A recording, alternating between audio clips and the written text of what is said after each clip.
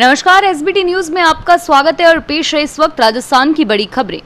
खबरों से पहले एसबीटी न्यूज़ को सब्सक्राइब कर लें और इस वीडियो को लाइक और शेयर ज़रूर करें। इस बुलेटिन की प्रमुख खबरें इस प्रकार है। इस बार एक अक्टूबर से नहीं होगा, स्कूल समय में बदलाव। एसीबी महानिदेशक को सेवानिवृत्ति पर पीएचक्यू में विदाई। कांग्रेस नहीं चाहती कि किसान खुशहाल हो, पूनिया। भाजपा प्रवक्ता ने कांग्रेस नेताओं और पदाधिकारियों पर लगाया आरोप। जोधपुर में 35 साल पुराने पेड़ को लगाया दूसरी जगह। केंद्रीय कृषि कानूनों में संशोधन करेगी गहलोत सरकार। बीजेपी का किसान कल्याण जनसंपर्क अभियान शुरू। आगामी परीक्षाओं को लेकर आयोग ने जारी किए ज़रूरी दिशा निर्देश। एनएलयू राजस्थान को छोड़कर समस्त 18 राज्य अपने छात्रों के हितेशी एक करोड़ मास्क बांटेगी गहलोत सरकार। और अब खबरें विस्तार से। राजस्थान के सरकारी स्कूलों के समय में फ़िलहाल बदलाव नहीं होगा। शिक्षा विभाग ने कोरोना के कारण चल रही स्थितियों को देखते हुए स्कूलों के समय में फ़िलहाल बदलाव नहीं करने का निर्णय लिया है और इस संबंध में निर्देश जारी कर दिए हैं। विभाग की ओर से जारी किए गए निर्देशों के मुताबिक एक पारी के स्कूल सुबह साढ़े सात बजे से दोपहर एक बजे तक और दो पारियों के स्कूल सुबह साढ़े सात बजे से शाम साढ़े पाँच बजे तक के समय में जिस प्रकार अभी संचालित किए जा रहे हैं, वैसे ही संचालित किए जाएँगे। भ्रष्टाचार निरोधक ब्यूरो के महानिदेशक आलोक त्रिपाठी को सेवानिवृत्ति के अवसर पर आईपीएस एसोसिएशन ने बुधवार को पुलिस मुख्यालय में विदाई दी। महानिदेशक पुलिस भूपेंद्र सिंह ने उनके सुदीर्घ एवं स्वस्थ जीवन के लिए शुभकामनाएँ दी। महानिदेशक अपराध एम एल लाठर व महानिदेशक जेबीएल सोनी ने उन्हें स्मृति चिन्ह भेंट किया। केंद्र की मोदी सरकार के कृषि सुधार विधेयकों के बारे में किसानों को जागरूक करने को लेकर भाजपा प्रदेश अध्यक्ष डॉक्टर सतीश पूनिया ने किसान कल्याण संपर्क अभियान का फेसबुक लाइव के माध्यम से आगाज़ किया।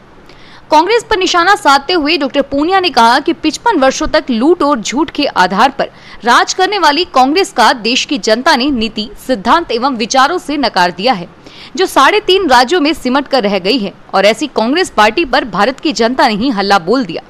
उन्होंने कहा कि मुझे ताजुब हुआ कि प्रधानमंत्री नरेंद्र मोदी के नेतृत्व में किसानों के कल्याण के लिए जाने वाले विधायकों ने किसानों की तकदीर एवं तस्वीर बदलने की प्रतिबद्धता ज़ाहिर की है। अफसोस हुआ है कि कांग्रेस पार्टी की अध्यक्ष सोनिया गांधी ने कांग्रेस शासित राज्यों को यह कहा कि इन विधेयकों का विरोध करें। इसका मतलब सोनिया गांधी नहीं चाहती कि किसानों का कल्याण हो, उपज के अच्छे दाम मिले और उनका रकबा बढ़े, उनकी आयु दोगुनी हो। राजस्थान में तबादलों का दौर शुरू होने के बाद बीजेपी ने कांग्रेस पर बड़ा हमला बोला है। बीजेपी के प्रदेश मुख्य प्रवक्ता एवं विधायक रामलाल शर्मा ने सरकार पर बड़ा हमला बोलते हुए कांग्रेस के नेता और पदाधिकारियों पर गंभीर आरोप लगाया है।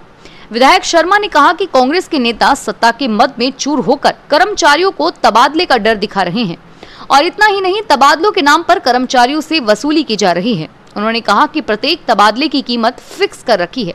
जैसा पद है, वैसे ही कीमत अधिकारी कर्मचारियों से वसूल की जा रही है। जोधपुर में बुधवार को पाल रोड स्थित मिल्कमैन कॉलोनी में 35 बरस पुराने पीपल के एक पेड़ को अन्य स्थान पर लगाने के लिए जड़ सहित बाहर निकालकर अन्य स्थान पर लगाया गया। एक मकान के विस्तार में बाधक बन रहे इस विशाल पेड़ को पहले इसकी टहनियाँ काटकर हल्का किया गया और इसके बाद बड़ी सावधानी से इसे निकाल लिया गया। इस अनूठी पहल से इस पेड़ का बनाड़ क्षेत्र में फिर से लगा दिया गया। केंद्रीय कृषि कानूनों को लेकर कांग्रेस अध्यक्ष सोनिया गांधी की ओर से कांग्रेस शासित राज्यों को लिखे पत्र के बाद अब राजस्थान में गहलोत सरकार भी सक्रिय हो गई है। केंद्रीय कृषि कानूनों को लेकर कांग्रेस अध्यक्ष सोनिया गांधी की ओर से कांग्रेस शासित राज्यों को लिखे पत्र के बाद अब राजस्थान में गहलोत सरकार भी सक्रिय हो गई है। सोनिया गांधी का पत्र मिलने के बाद अब गहलोत सरकार केंद्रीय कृषि कानूनों में संशोधन के लिए रास्ते तलाश कर रही है। सूत्रों के मुताबिक इसे लेकर मुख्यमंत्री कार्यालय के स्तर पर चर्चा भी शुरू कर दी गई है। हालाँकि आधिकारिक रूप से अभी तक कुछ तय नहीं हुआ, लेकिन गहलोत सरकार इन कानूनों में बदलाव के लिए अध्यादेश ला सकती है। जोधपुर शहर की सबसे व्यस्त रहने वाली नई सड़क और सोजती गेट को रातानाड़ा क्षेत्र से जोड़ने वाला मोहनपुरा फ्लाईओवर बनकर तैयार होते ही इसे शुरू करने को लेकर विवाद हो गया है। शहर में बुधवार को कुछ उत्साही लोगों ने एक साल में तेरह करोड़ की लागत से नए सिरे से बनाए गए इस पुल पर पूजा कर खोल दिया। और वहीं प्रशासन इसका औपचारिक उद्घाटन 2 अक्टूबर को करने की तैयारी में जुटा है और इसके साथ ही जोधपुर शहर को एक नई सौगात मिल गई।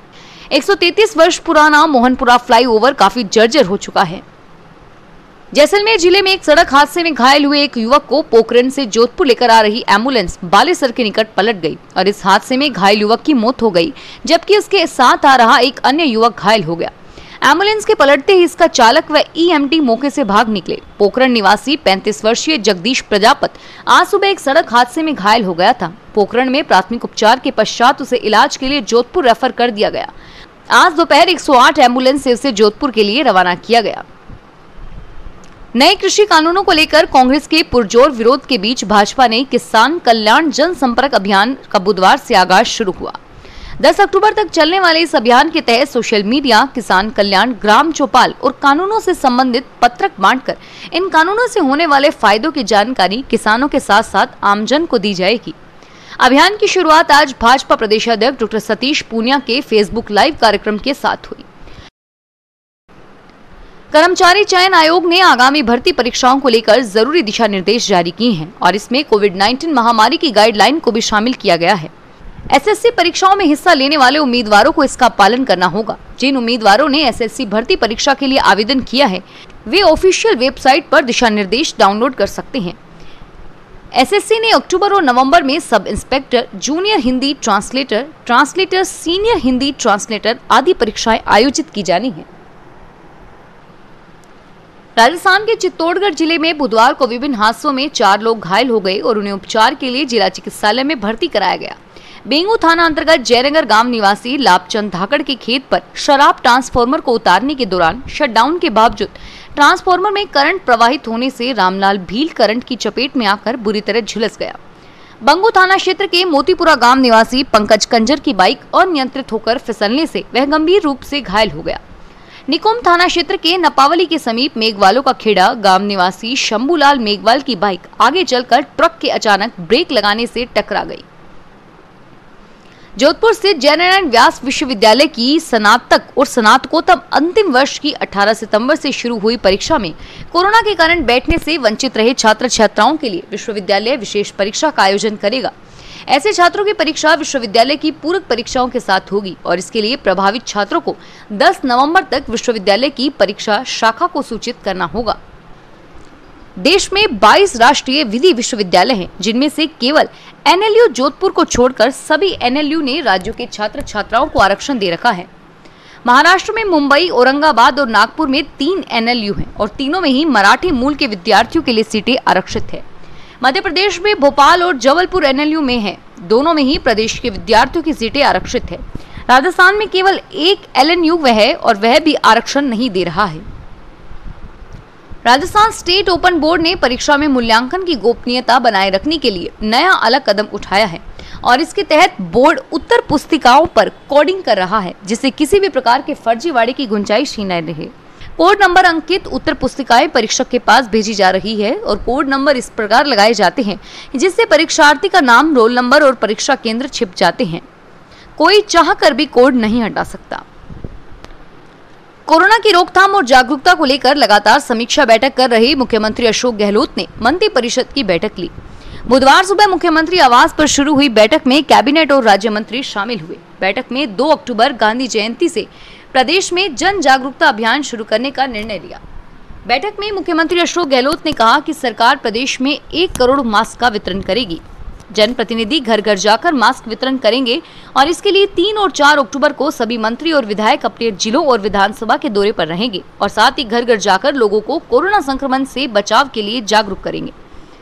फ़िलहाल इस बुलेटिन में इतना ही और फिर हाजिर होंगे तमाम बड़ी खबरों के साथ। एसबीटी न्यूज़ के वीडियो देखने के लिए हमारे चैनल को सब्सक्राइब करें और नोटिफिकेशन पाने के लिए बेल आइकन को प्रेस करें।